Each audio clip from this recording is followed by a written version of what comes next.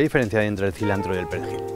Joder, los sabores. El Sí, es perejil que- tiene un ligero amargor y el Sí. cilantro es un pelín, joder, tiene un sabor muy característico, pero para mí me da tonos dulzones, El cilantro. el cilantro.